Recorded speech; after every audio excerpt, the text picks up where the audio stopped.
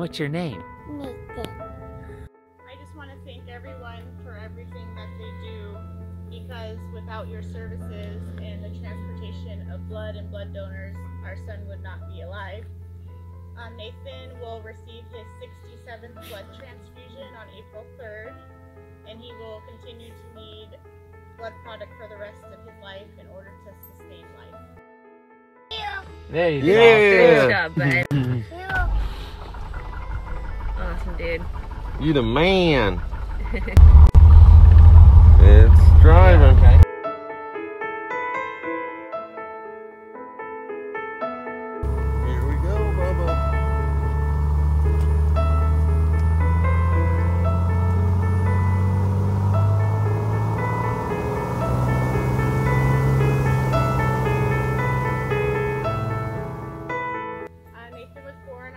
August 24th, 2014.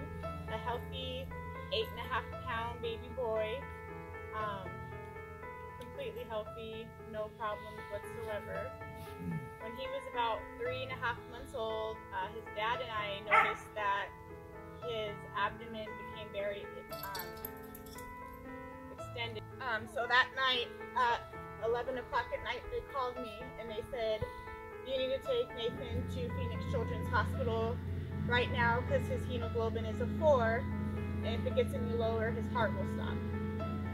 So we drove probably 120 mi- miles per hour to Phoenix Children's Hospital from Casa Grande, and um, we stayed at Phoenix Children's Hospital for a total of nine days.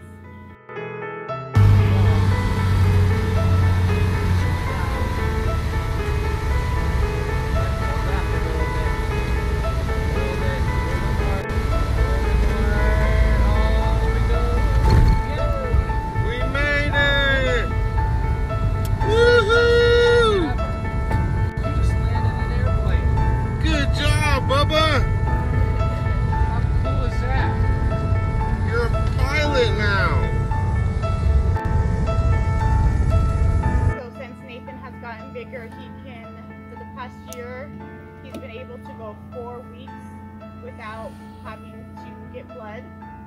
Um, like I said, he's going on his 67th blood transfusion, which he will need for the rest of his life, and he'll likely stay at once a month for the rest of his life as well. Had something called dehydrated stomatocytosis phenotype, and if that is what he had, he would be the second person in medical literature with this genetic mutation. And so what's happening is his bone marrow is producing abnormal red blood cells and they break apart in circulation. Because they're abnormally shaped, the spleen recognizes them as foreign, so then the spleen breaks them apart. So there's no cure for his um, for his blood disorder. They say um, Nathan's blood disorder is worse than cancer because his body is getting overloaded with iron. So he's had so many blood transfusions that it creates iron deposits in his liver. Um,